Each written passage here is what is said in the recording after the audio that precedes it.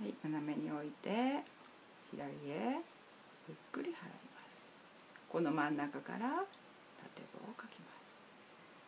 止めます。中心のところよりも左側に口の一画目をやや内側へ向けて書いた後重ねて横へ行ってしっかり踏ん張って短めに内側へ入ります。そして締めて横を出します。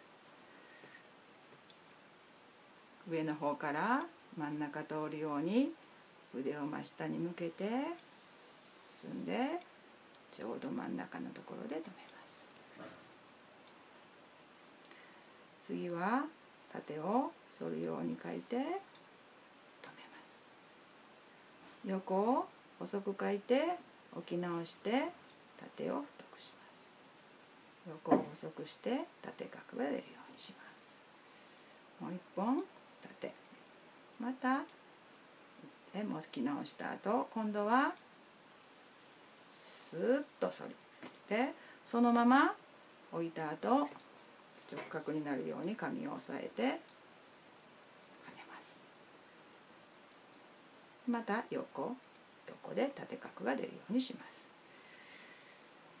中の紐を真ん中に入るように気をつけて縦を出します。